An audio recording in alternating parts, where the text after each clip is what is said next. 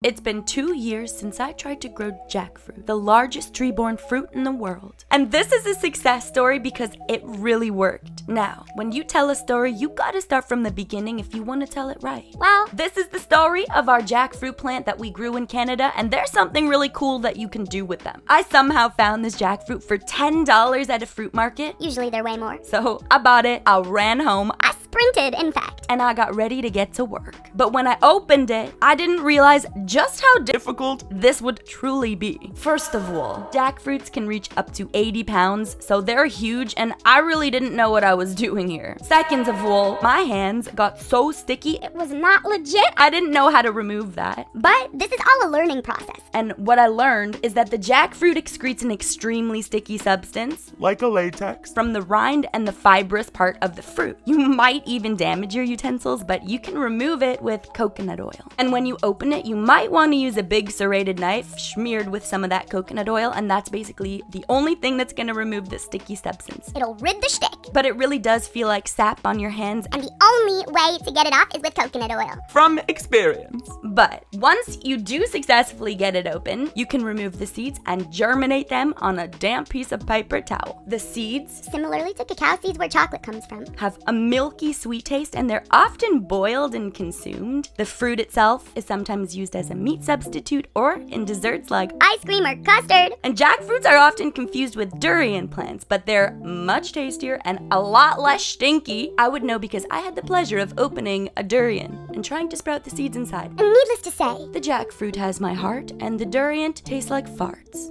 Anywho, Once you remove your seeds and germinate them on a damp piece of paper towel, not Germany, but germinate. they'll start to grow little Baby cute tails. Once they look a little something like this, you can plant them in soil and get yourself ready for your jackfruit plant to sprout up like Like a 13 year old boy going through puberty. It's a very beautiful experience to watch. But it really is such a beautiful porcelain plant. You do gotta make sure to repot it when it outgrows its pot. You might even see your stem start to turn a little woody. That is a very good sign. That means you're you're a hardy plant parent. But winter in Canada was arriving. This made me a little nervous because I knew I had to repot this plant and bring it inside for the winter to sit under the grow lights. But don't worry, these plants would be winterized, which just means dipping the stem in dish soap with water to kill off any bugs or pests, and then it's ready to bring inside and live under your grow lights. Well, I thought this would be a great solution, and I was honestly just so proud of us that we didn't have the squirrels come and feast on our jackfruit plant for their families of 17. Because on this channel, you already know that we have a rodent problem. And the squirrels basically Infiltrate the dealer and find the supplier. But of course, that solution that I thought was great actually wasn't because the jackfruit plant slowly started to shrink. And I was very confused, but I knew that it didn't have as much sun as it truly needed to survive. For about nine whole months from when I brought it inside, it wasn't completely dying, but all the leaves, Fell off. there was just one little measly stem left. But if you know anything about me in this channel, I do not throw anything out. Lucky for us,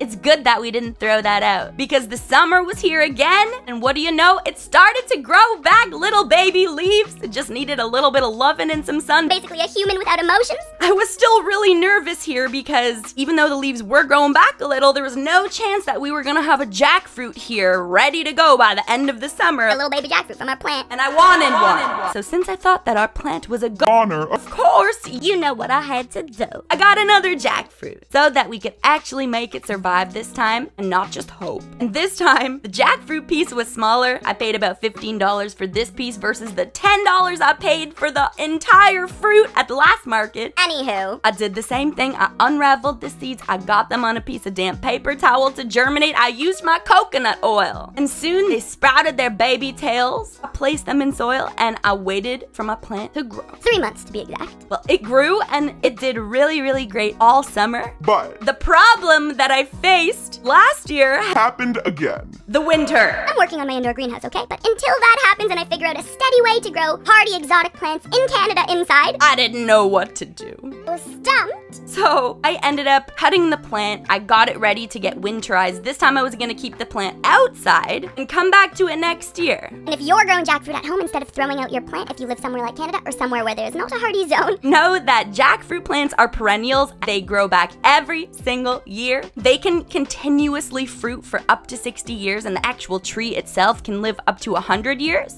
so surely there should be no problem for us growing our own jackfruit. So either I'll see you in 60 to 100 years, or we'll have our own jackfruit in just a couple of years. Okay. But this is what the plant currently looks like for now. Summer is back, and we're gonna put the plant outside again. I am hoping it survives. I am hoping it grows back its leaves, and I- I'm praying to the plant gods that we can grow a mini tree that yields mini baby fruits one day soon. But the fact that we even got this plant was such a cool learning experience just goes to show. This was a tale of triumph, starring the largest tree borne fruit in the world. I'm confident we will soon have our own 80 pound fruit on a mini baby tree growing in Canada in the winter. thank you so much For coming along this journey with me, and learning about jackfruit. how to grow them, how to winterize them, how to keep them alive and save them from when they die.